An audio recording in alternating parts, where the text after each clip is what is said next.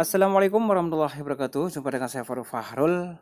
Uh, Hari ini saya ingin kasih sedikit tips Buat teman-teman yang masih pemula Yang ingin merawat bunga keladi tengkorak Ataupun buat teman-teman yang baru saja membeli bunga keladi tengkorak. Nah saya akan kasih tips cara kita merawat bunga keladi tengkorak Agar tumbuh subur seperti yang teman-teman lihat di dalam video ini. Nah ini perawatannya sebenarnya sangat mudah sekali ya bahkan lebih mudah dari kita merawat bunga aglonema. Kalau ada bunga seperti ini, ini yang biasa ya. Semua orang juga akan nampak bunga seperti ini. Jadi bunganya harus dibuang. Tujuan kita buang bunganya supaya daunnya ini tetap tumbuh besar dan cantik. Jadi kalau bunganya kita biarin aja, nanti uh, daun baru yang muncul dia agak kecil dan akan lama uh, pertumbuhannya. Uh, kemudian tujuan kita membuang bunga yang seperti yang tadi, yang saya petik tadi adalah supaya dia lebih cepat menumbuhkan anakan ya. Jadi kalau bunganya dibiarin saja, anakannya juga akan lambat tumbuhnya.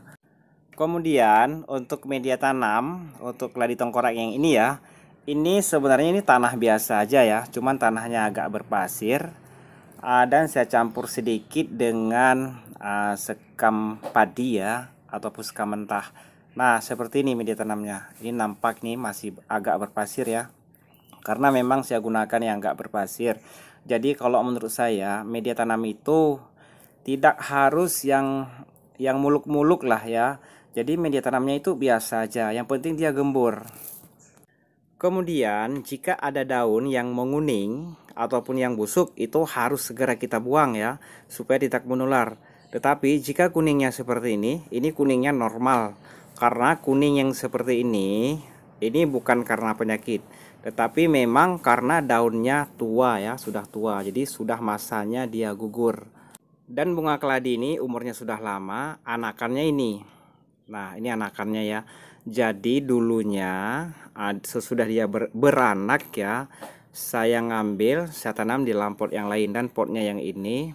Uh, sekarang kondisinya sudah hampir sama besar dengan indukan yang tadi. Nah, jadi dia persis sama seperti ini. Kemudian, supaya bunga keladi ataupun aglonema kita itu tetap subur ya, tanpa diserang oleh hama penyakit seperti ini. Nah, ini daun daun bawahnya ini sudah ada tanda-tanda ya diserang oleh hama penyakit. Ini harus segera kita buang juga.